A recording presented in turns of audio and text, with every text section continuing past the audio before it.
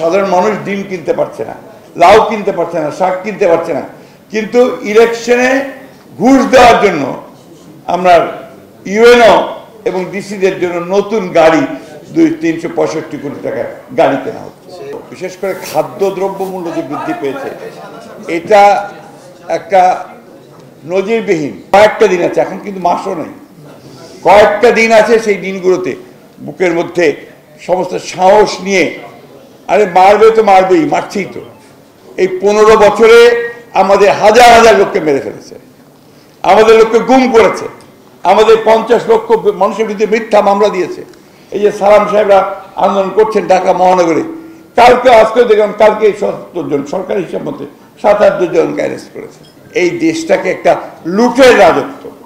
আমরা এটাকে ঠিক বর্ণনা করা যাবে না ভাষায় যে কি হারে লুট এরা করেছে। এবং সেই লুটের পরিণতি আজকে বাংলাদেশের মানুষকে বহন করতে হচ্ছে।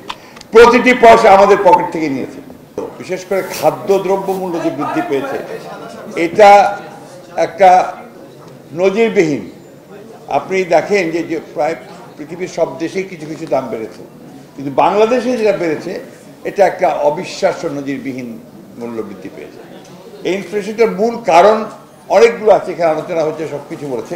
কিন্তু মূল কারণটা হচ্ছে যে এই যে একটা জবাবদিহীন সরকার, যাকে কোথাও কোনো জবাবদিহি করতে হয় না, যে তার ইচ্ছা মতো যা খুশি তাই করছে এবং করতে পারছে, তাদের এই যে ব্যর্থ পরিচালনা, তাদের দুঃশাসন, দুর্নীতি, আজ কেমন একটা জায়গায় গিয়ে পৌঁছেছে যে যেখানে মানুষের নাবিশ্বাস বলছেন তো, মানুষের নাবিশ্বাসও নেই এখন।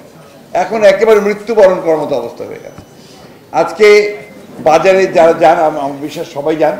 আমার বিশ্বাস এখানে যারা আছেন কেউই আমাদের মিন্টু ভাইয়ের মতো এত বিত্তবান লোক নন। সবাই আমাদের একদম আপনার আমরা সবাই সাধারণ মধ্যবিত্ত মানুষ।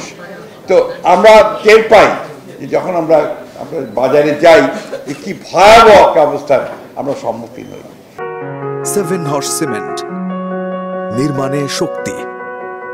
প্রতিটি পয়সা আমাদের এই সমস্ত জিনিসপত্রের দাম টাম সব ব্যাট ট্যাট সব মিলে ইনকাম ট্যাক্স মিলে, এই সব পয়সা আমাদের কাছে এসছে।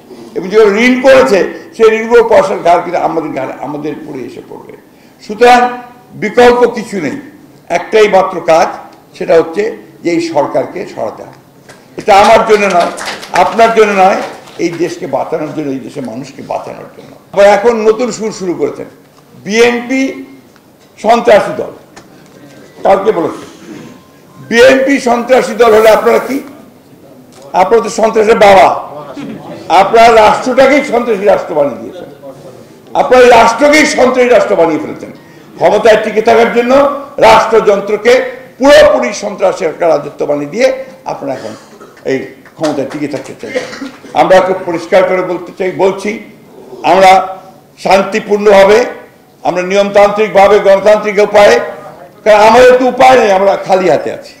আমাদের হাতে তো বন্দুক পিস্তল নেই যে আমি আপনাকে ভয় দেখাবো গ্রেপ্তার করে নিয়ে আসব। আপনাকে আমি ডিবিতে গিয়ে, নিয়ে গিয়ে আপনাকে আপনার অত্যাচার করে নির্যাতন করব, সে ক্ষমতা তো আমার নেই। আমার একটাই ক্ষমতা আছে, সে হচ্ছে যে মানুষকে সংগঠিত করা। মানুষকে বলা যে তোমার এই অবস্থা থেকে যদি বেরোতে চাও, মুক্তি পেতে চাও, তার অন্য কোনো উপায় নাই, তোমাকে রাস্তায় বেরিয়ে আসতে হবে। যে কথাটা সালাম সাহেব বলেছেন, আমরা এই রাস্তায় বেরিয়ে আসতে হবে, এটাই তো সবচেয়ে বড় কথা। আপনি দাঁড়িয়ে দাঁড়িয়ে দেখবেন যে বিএনপির নেতাকর্মীরা কি করছে। তারপরে যাব, সেটা হবে না। আপনাকেও রাস্তায় বেরিয়ে আসতে হবে। আমি এই কথাই বলতে চাই আজকে সকলকে রাস্তায় বেরিয়ে আসতে হবে।